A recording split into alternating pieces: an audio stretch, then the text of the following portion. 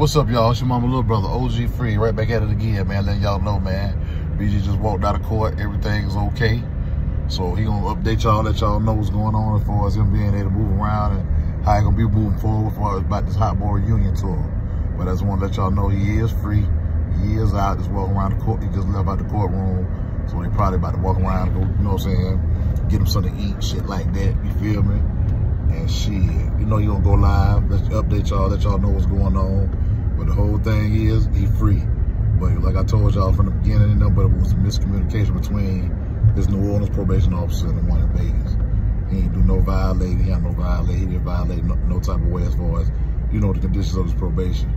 And nine times out of ten, you know, they went over the, the conditions of his probation with him in person so they can make sure, you know, and uh, probably went back and forth with the judge and let him know that what he's trying to do as his career and this and that before, like I said, as the details and all that, I'll let him tell y'all the details and let the fans know how we're gonna be moving forward and when y'all can look forward to that Hot Boy reunion tour, man. It's your mama little brother.